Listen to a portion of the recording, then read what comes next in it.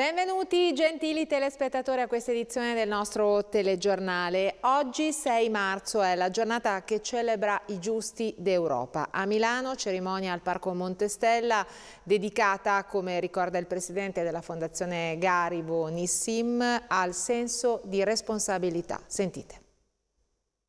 La giornata dei giusti quest'anno assume una caratteristica molto importante, che è quella di eh, spingere contro la rassegnazione. Io credo che ci, debba essere un moto dello spirito per dire di no, ecco, perché quando tu dici di no allora cominci a pensarci, ecco, credo che questo sia il messaggio della cerimonia di oggi. Memoria e responsabilità, l'esempio dei giusti davanti alle sfide del nostro tempo, è il tema che ha ispirato la cerimonia al Parco Montestella di Milano per la giornata europea dei giusti. Ad essere onorati Altiero Spinelli, Vera Vigevani Yarak, Yuri Dmitrev e Narges Mohammadi, come deciso dall'Assemblea dell'Associazione per il Giardino dei Giusti di Milano, formata dalla Fondazione Garivo, l'Unione delle Comunità Ebraiche Italiane e il Comune di Milano. Occasione per fare una richiesta al sindaco Sala. Io credo che sia importante che il Consiglio Comunale dia anche la cittadinanza onoranea a Mohammadi, a Narges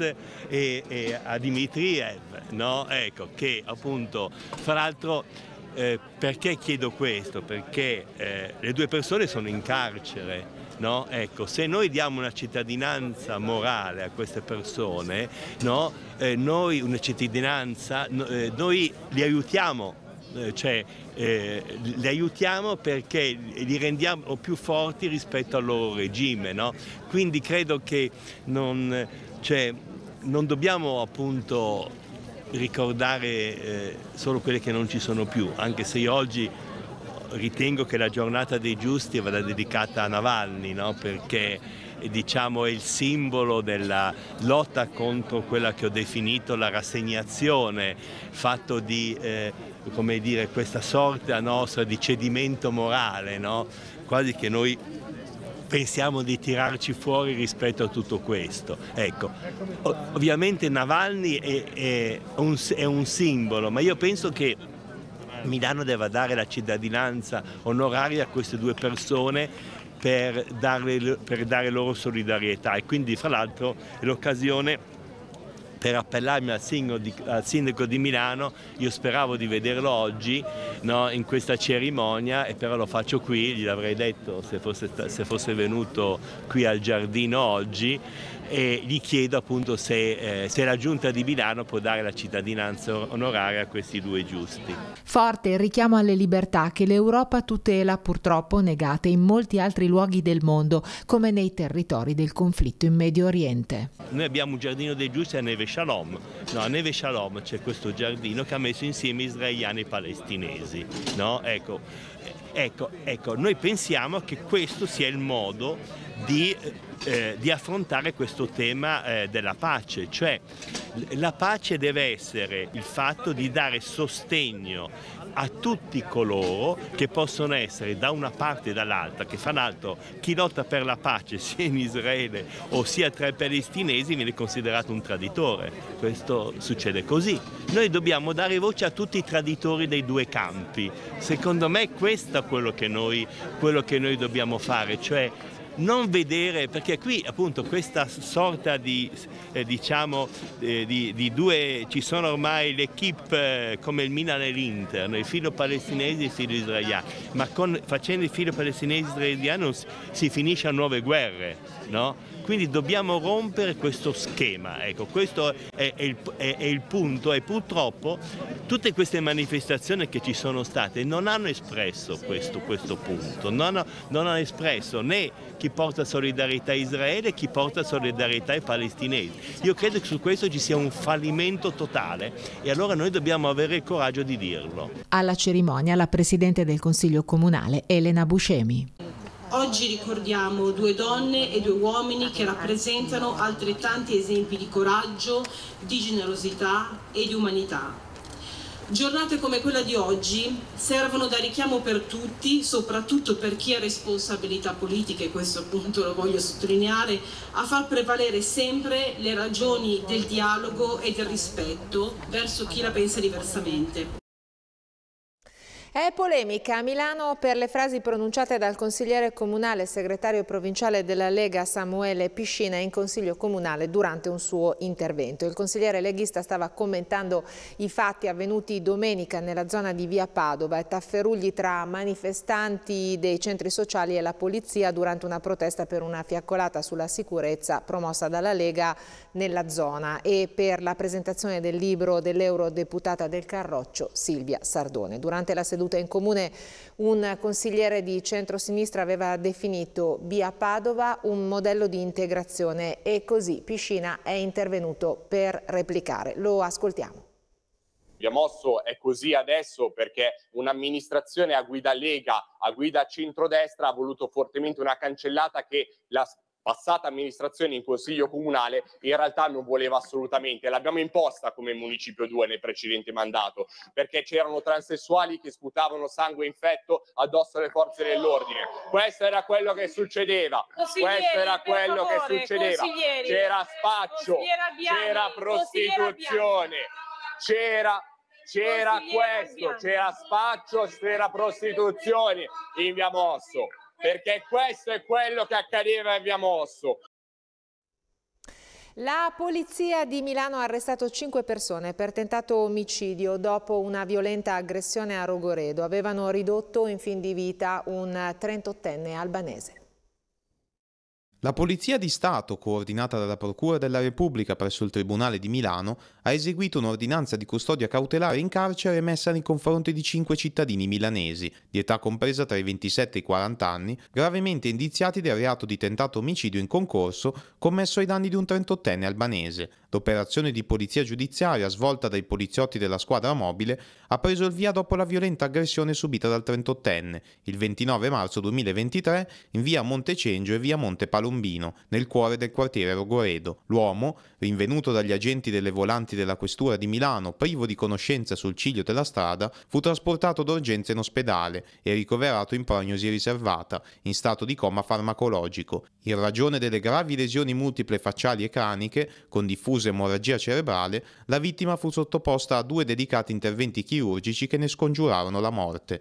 La successiva ricostruzione del grave episodio delittuoso è stata il frutto di un'intensa e complessa attività di indagine condotta attraverso attività tecniche, analisi di numerosi filmati e acquisizione di dichiarazioni di persone informate sui fatti. L'attività investigativa, attualmente nella fase delle indagini preliminari, ha consentito di individuare in modo puntuale le fasi salienti dell'aggressione e di ricondurre la stessa a una precedente lite per futili motivi avvenuta tra la vittima e un conoscente, milanese di 38 anni, nel corso della quale entrambi si erano minacciati impugnando dei coltelli. Subito dopo la lite, il cittadino albanese si era allontanato dal posto per tornarvi, poco dopo, con una pistola in pugno, rivelatasi una scacciacani, con il possibile intento di affrontare il conoscente. Giunto sul posto, tuttavia, avrebbe trovato gli amici di quest'ultimo, che dopo averlo disarmato provocando l'esplosione di un colpo, lo avrebbero aggredito con estrema violenza, riducendolo in fin di vita.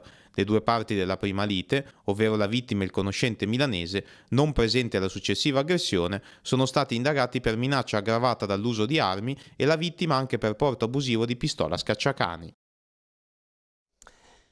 A Milano una donna anziana è stata picchiata pesantemente da un clochard a cui avrebbe negato l'elemosina. È successo venerdì in via Carducci. Le foto dell'aggredita stanno facendo il giro del web. Guardate. Era stata soccorsa venerdì scorso, primo marzo, dopo essere stata trovata a terra da un passante in via Carducci. Poi ieri l'anziana, 83 anni, ha presentato denuncia alla polizia sostenendo di essere stata picchiata a colpi di stampella e fatta cadere da un clochard con il quale aveva avuto una discussione perché le aveva chiesto con insistenza l'elemosina. Sui social sono subito finite le immagini dell'anziana con il volto tumefatto e una ferita alla fronte, il referto dell'ospedale in cui le sono stati dati 15 giorni di prognosi e la copia della denuncia presentata al commissariato centro.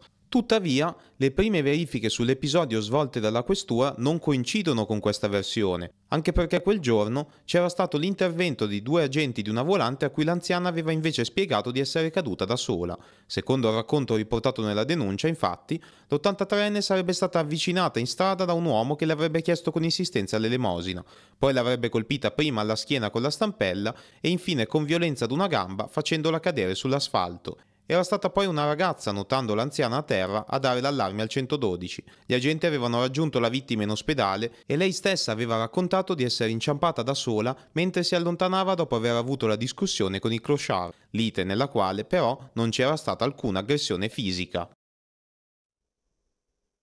Non hanno ucciso per soldi e neppure per odio verso la vittima. Secondo i giudici l'omicidio è stato commesso per gratificare l'ego del gruppo e celebrare adeguatamente la loro coesione. È quanto scrive la Corte d'Assise di Brescia nelle 98 pagine di motivazioni della sentenza di condanna in primo grado all'ergastolo per le sorelle Paola e Silvia Zani e Mirto Milani, il trio criminale che secondo i giudici ha ucciso Laura Ziliani, l'ex vigilessa di Temu e madre delle due imputate. Secondo il presidente della Corte d'Assise di Brescia, Roberto Spanò, sono inesistenti sia il movente economico sia quello dell'odio da parte del trio nei confronti della vittima.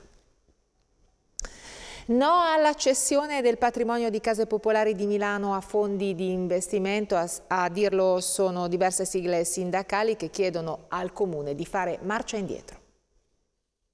Il Comune ha approvato una delibera in cui progetta di eh, conferire in modo graduale tutto il patrimonio presente e futuro, dice la delibera, a fondi eh, immobiliari gestiti da Invimit SGR che è una società di proprietà del Ministero delle Finanze ma che opera con ehm, logiche di mercato è il sindacato degli inquilini delle case popolari di Milano a richiamare l'attenzione sulle ricadute dell'operazione del comune che con delibera dell'11 gennaio scorso ha avviato la collaborazione con Invimit SGR per istituire fondi di investimento per la valorizzazione, la gestione e l'implementazione del patrimonio abitativo comunale presente e futuro. Un'operazione, dicono i sindacati, che metterebbe a rendita l'intero patrimonio senza calcolare le ricadute sociali di questo processo. Siamo contrari perché questo eh, percorso toglierebbe la proprietà al comune, quindi non solo la gestione, andrebbe in realtà a ridurre il numero di case popolari,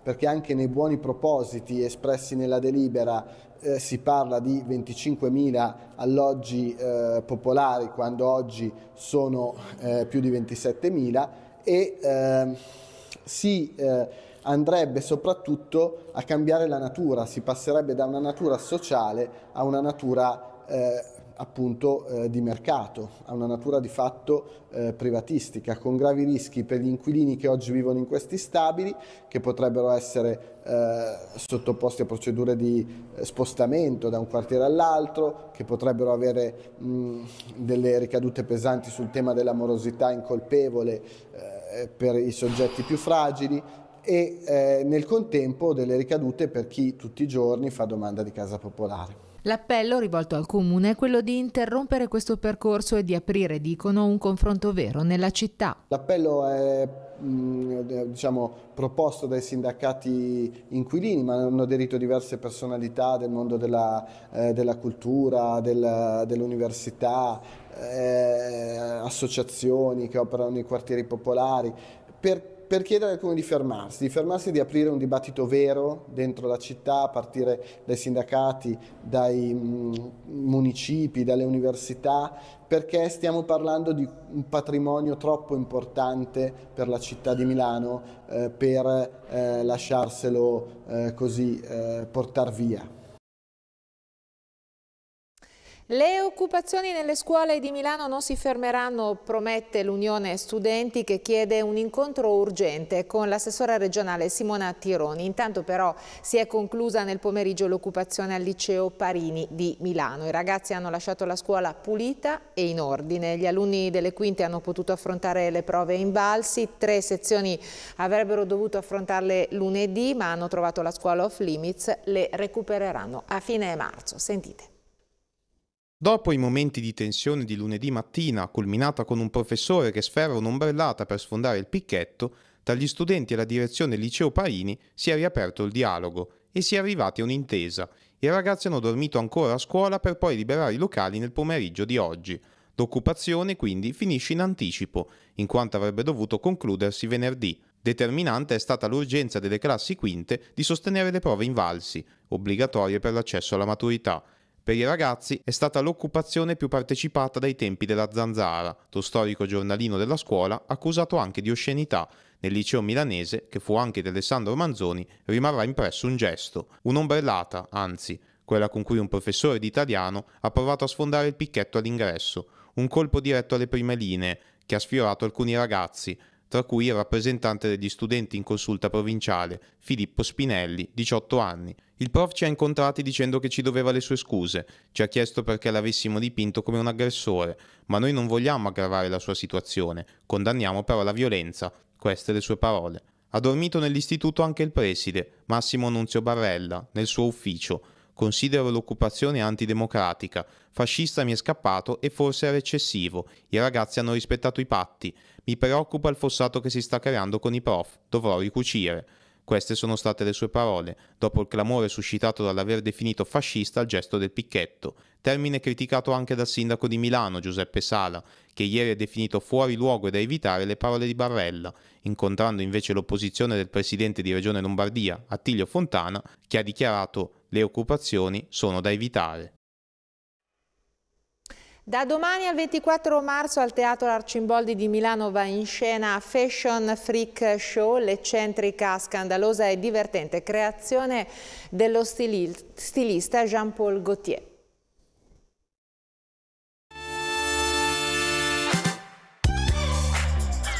Eccentrica, scandalosa, provocatoria, esuberante e divertente, come sempre, la straordinaria creazione di Jean-Paul Gaultier, Fashion Freak Show, è ora in tournée mondiale e arriva a Milano, unica tappa italiana al Teatro Arcimboldi. In questa straordinaria produzione, attori, ballerini e artisti circensi salgono sul palco per interpretare creature e personalità stravaganti, passionali, talvolta esagerate, sgarbate, sexy e impertinenti. Sullo sfondo un gigantesco video wall. Una parte fondamentale della produzione è costituita dalle storie di guest star speciali, tra cui alcuni sostenitori e amici di lunga data di Gaultier. Rossi De Palma interpreta l'implacabile maestra del giovane Gautier, che nutre segrete fantasie di moda, mentre Catherine Deneuve legge gli isterici nomi che Gautier dava alle creazioni della sua favolosa sfilata di alta moda maschile dei primi anni 90. Autore, regista e costumista, Jean-Paul Gaultier guarda i nostri tempi in modo stravagante e tenero e ci invita dietro le quinte del suo mondo fatto di eccessi,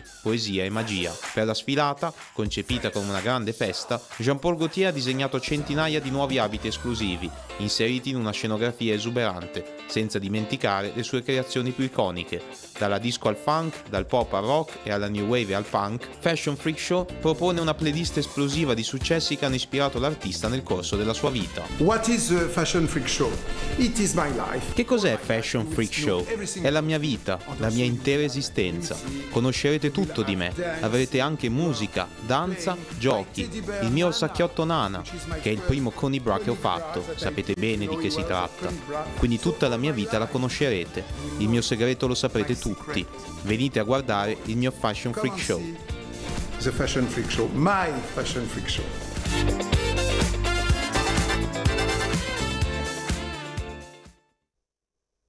Vi lascio alle previsioni del tempo, grazie per l'attenzione, arrivederci.